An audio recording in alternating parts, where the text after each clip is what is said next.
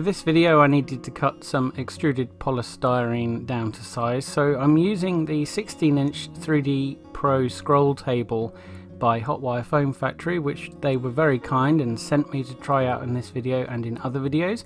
I'll be showing some other uses later on in this video and in some future videos as well but for this part I'm just wanting a very straight clean edge so I moved the straight edge back on the table, clipped it in place, and then you just allow the blade to do the cutting. You don't have to force it through, and it does some very nice straight edge there. That's just one of the uses of this table. Now I'm just going to mark out here the basic shape of the river delta that I want, and I'm just using a blunt knife, or actually it is a retractable knife with the blade fully retracted. And now here I'm using the router blade for the 16 inch table. If you go the next size up I believe you get an extra arm on this table so you can actually link the wire in between the two arms that stick out. There you can see the first brass arm there. I think you get a second brass arm and you can actually use the router e more easily. On this one I had to use bit with the foam on its side. Um, if you get the bigger table, I think you can lay the foam flat down and carve into it that way. And in fact, I can imagine that making it a lot easier. This is um, a very good table for cutting 3D objects for, say, making cylinders, etc. Um, and it's very good for cutting straight edges and it's also good for cutting angled edges. Um, what it possibly isn't so good for is doing this kind of work. However, if you went the next size up or if they were able to send you an extra rod, then it would be absolutely fantastic. So what I ended up actually doing here was using their hand routing tool, which is another fantastic bit of kit. And they sent me this a little over a year ago, I believe it was that long ago, um, for use on some of my early vids. So they've really supported me over the last year and I'm very grateful to them for that. Um, hopefully I have put their tools and equipment to good use. Um, but here I just wanted to create a fairly tight loop at the end of the wire. You can bend the wire into any shape you like as you can with the routing tool on the routing wire on the uh, scroll table. Um, make sure that the wires don't touch um, I just wanted to carve out a general shape here. You, as you can see, it's fairly rough. Um, it doesn't have to be, but I was doing it fairly quickly, just kind of making it up as I go along. Um, so I'm using some Sculptamold, which I mixed to a relatively thick paste. And I was always going to do this anyway because I wanted to sculpt in some islands into the delta. And again, I say it in all of my videos, but don't make your sculpt mold too thin because it will take forever to dry. I make mine into a relatively stiff paste. Stiff enough so that it actually piles up into mountains and you can sculpt out little embankments with it here. But you'll see in a minute that I actually changed my mind about the shape of this delta because I realised it wasn't quite intricate enough. So there we go, that's my little transition to show that I changed my mind after having painted it. That's actually spray paint. You can see it's eaten into the foam slightly there. I wasn't bothered about that. Um, I didn't need it to be uh, smooth.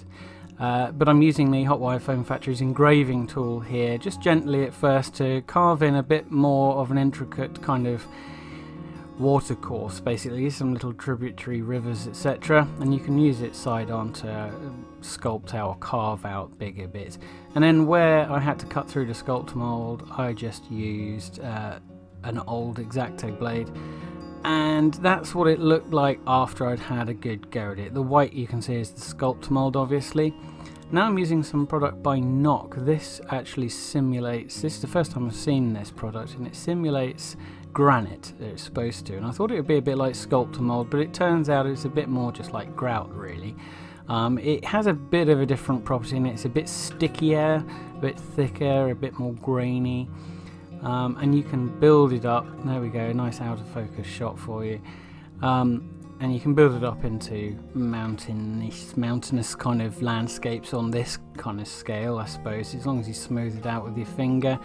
Uh, on something like HO scale or, or bigger scales, you could um, you know use it for quite nice close-up rock work. Um, but I'm just using it here on uh, this delta to create a hilly, rocky landscape, and it also lends a nice kind of undercolor as well. So once I'd done it, that was that.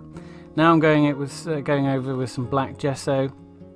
So if I missed anything with the black gesso here, the the grey uh, wouldn't show through quite as much as the white, um, and that would it also be quite nice because later on, often when you apply these washes, and this is just a white wash, it uh, takes away some of the gesso if you haven't let it dry completely. As you can see, I'm very impatient when it comes to these things. So the grey underneath may actually show through some of the gesso, but that's okay because it's grey and it's granity colour. Um, and that's the kind of effect that I was after here. So I suppose you could say, oh, I should have left it, but then I should have left it as the grey and not bothered with the gesso. But I'm going to be painting over this so much that it was just easier to paint over it, give it a good solid undercoat all over. And now I'll just go over the water with some kind of aquatic colours. Uh, I've forgotten what this one's called, Lagoon or something. It's very cheap acrylic. Um, and I water it down quite considerably and I just do a few more highlights. This again you'll see later on I go over this again. I keep changing my mind throughout the entire course of this model. Um, so all these highlights that I apply now mean nothing at the end of the day. I'll go over the rocks with some pumice um, mix. This is a, a, a, paste by Vallejo. Um, that actually dries pretty clear. The European thick mud, I just stipple it on over the top to give it an appearance of earth, and that's where I'm going to be putting trees, etc. So I don't want trees growing out of bare rock and now I apply some Vallejo black wash. This is a game wash, and this just seeps into rolls, drips into every little nook and cranny, and really highlights the uh, the craggy look of it all. And then I just brush over the top of that some brown grout. I used to use soil and beige grout to get the right colour. Just a lot of people do that, um, but I just found some, uh, some brown grout and I thought, yeah, I'll just use that instead then. And then I go over that with, now this is a bit of a messy process, as you can see it's very dusty. I'm using some green weathering powder to simulate the grass because you could use the foams, you could use all sorts of things, but nothing's going to be the right scale. Uh, so now, because uh, I've gone over it with so much weathering powder, it's got everywhere. I go over the, the water again with another coat. Now I'm using some white weathering powder here just to highlight the edges of the rocks. It looks extreme at the moment, but you keep brushing it and brushing it and it ends up looking really quite natural. And once again with another layer of the paint over the river. This really was a trial and error thing. I, I hardly ever plan my models, to be honest. When I start making them, I think, how am I going to do this? I plan it in my head and never write anything down, never draw anything and it just ends up how it ends up. Um, and I just keep going until it looks alright. It's probably not the best way to work. Uh, some masking tape uh, to make a dam um, for the, the resin I'm about to pour. I'm using CFS's water clear epoxy. This has to be poured in equal parts resin to hardener. So I use plastic cups. I always say that you can wash out these or rinse them out with some isopropyl alcohol but I don't tend to bother in my videos. I do in personal projects and things so I don't tend to bother using the old cups in videos because you can hardly see what's going on because they're quite they get quite fogged up um, and they don't look very nice um, and it may look like they're just filthy. Um, so once that they're, they're, poured in together you put a bit of um, I put a bit of game wash in there. That's blue that was an edit. It actually takes a lot longer to mix these. Um, I wanted to make it even darker, so I added a bit more. You have to stir it for a good two minutes, very slowly, so as not to introduce too many bubbles, but we will get rid of the bubbles in a bit. And then pour the resin. Go over a little bit at a time. Take it, take your time with it. Uh, I realised at this point I wasn't going to have enough resin, and also it wasn't really dark enough so I was going to have to do another pour later on. We'll see about that.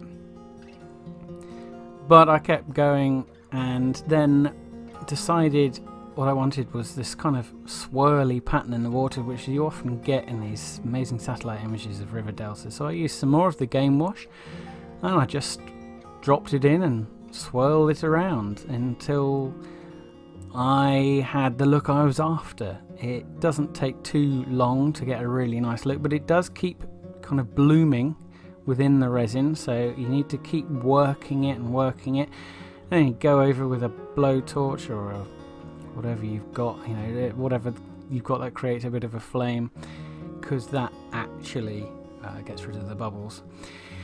Um, and now here's another transition to show another mistake I made. This one was basically you're going to my go-to Mod Podge gloss to create a very very subtle pattern of waves but it didn't work out it didn't look nice which is another reason why I wanted to add some more resin later on uh, but before I did that, I was still in, I was still in denial about that. So I uh, put some glue on top of the uh, the hills here and started adding Woodland Scenics coarse turf. Uh, the reason I did that was because did you just hear my shoulder click? Then it was pretty nasty.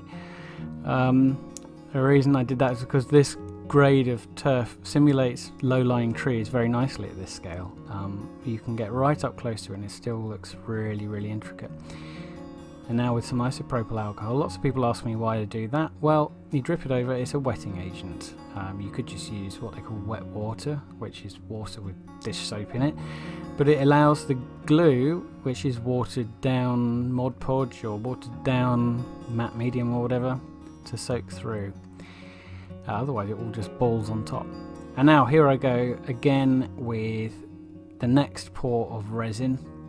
Uh, a much thinner round this time and you can see also around the edges there I started to apply a bit of white as surf and I didn't like that either so um, I'm glad I did this next resin step here because it brought that level down somewhat. It also improved the kind of depth of the whole piece. The water suddenly came to life and I decided I would add some more swirls to it and not just the blue but also a drop of white this time and that white took a lot of working in. It looks awful to begin with. You think oh my god what have I done but and you oh look at this I mean it's a mess I was panicking at this point thinking what have I done again I don't plan these things this could have written off the whole thing. Do what I say, not what I do. There's the, the motto here. But as I worked it out, and you can see there, it actually ended up looking really nice and subtle once I'd really, really worked it out. And I was going to go over this now with some pouring medium, and I was just pointing out there that it's not quite brilliant gloss. Because this is a, such a glossy finish, this resin, when you look at these you know, a river from above, it's never a complete gloss. It's got a sheen to it because it's got tiny ripples on it. And this just takes that gloss down just a touch and it also adds a little bit of texture to the water surface. I'm going to be adding a few ripples later on in a different way that I've ever done it before.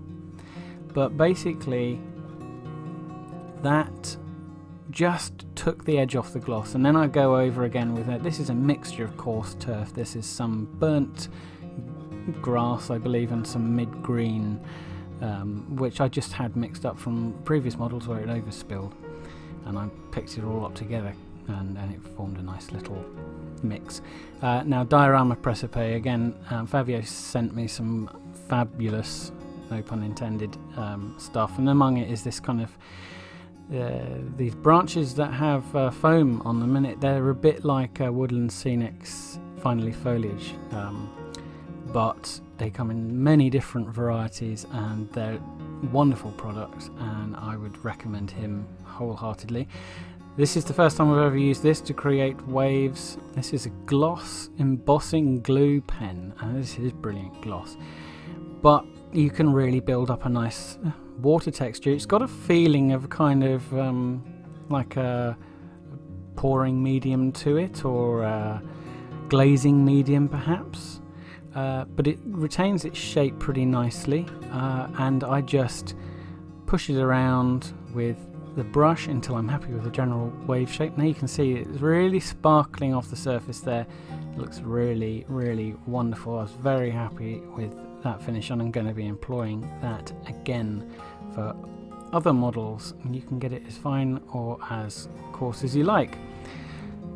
And there you can see how the water shines in the sun with that glossy wavy surface it really worked out nicely um, I hope you like this video it's only a rough job really because I'm planning a few bigger projects and this was like almost like a practice piece but it does show you some good techniques that you can use and it does end up being quite effective especially with the swirly kind of resiny look to it all I hope you enjoyed it anyway.